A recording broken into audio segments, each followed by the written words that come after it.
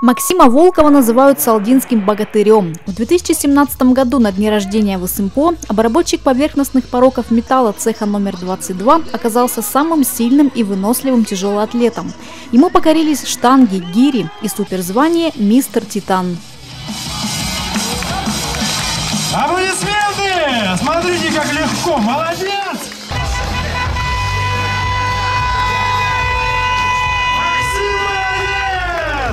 Тяжелые снаряды слушаются и подчиняются Максиму с 10 лет. Именно тогда он впервые пришел в спортивный зал «Чайки» к тренеру Анатолию Бессонову. Благодаря усердным тренировкам и силе воли юноше в кратчайшие сроки удалось выполнить норматив первого взрослого разряда. Затем он взял паузу, а в 23 года вернулся в спорт. Я, конечно, был удивлен и рад, что если человек, думаю, придет, думаю, он еще не все выполнил, что мог. Вот. И действительно, лет в 25, наверное, Максим появился в зале, хотя, э, значит, уже работающий на ВСМПО и семья многодетная, трое детей. Вот. Это было трудно, конечно, выбрать время для тренировок и соревнований.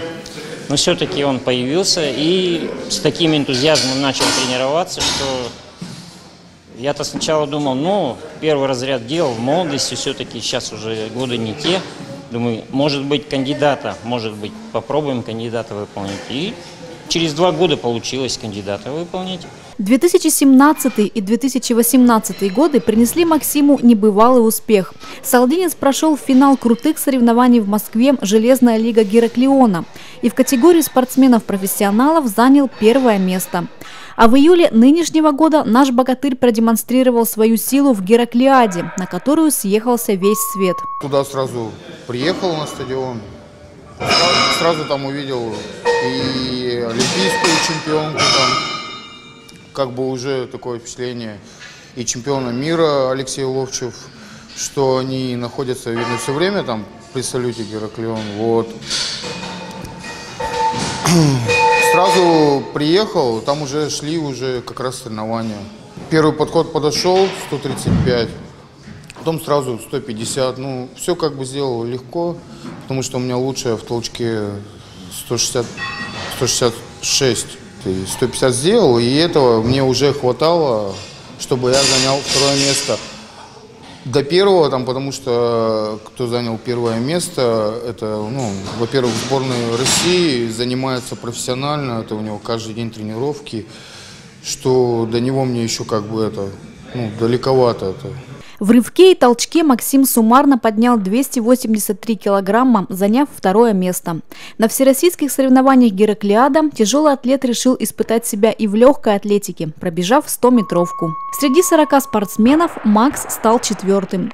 Участие в столь престижном фестивале спорта для салдинского спортсмена стало возможным благодаря финансовой поддержке корпорации ВСМПО «Ависма». Также хотелось поблагодарить очень большую благодарность Михаилу Викторовичу Воеводину. Большое вам искреннее спасибо, что вы дали мне такой шанс съездить, представить нашу верхнюю солду. Хотелось, конечно, мне победить, но не получилось, но я надеюсь, что все равно выиграем. Победа Максима – радость и для его тренера. Помимо кубков и медалей, Вадим Мегачев хранит почти все вырезки из газет, в которых упоминаются достижения верхнесалдинских атлетов. Максим очень позитивный человек, и этим он подает хорошие примеры начинающим и спортсменам. И те, кто сомневается, думает, как что получится, не получится, на его примере многие смотрят и действительно достойный пример для подражания, многие идут за ним следом. Максима во всем поддерживает его семья, супруга Ольга и ребятишки. Он для них пример и опора. Многодетный папа частенько берет на тренировки в «Чайку» среднюю дочь Милену. Девочка с удовольствием повторяет за папой разминочные упражнения, радуется его победам и всегда верит в папин успех.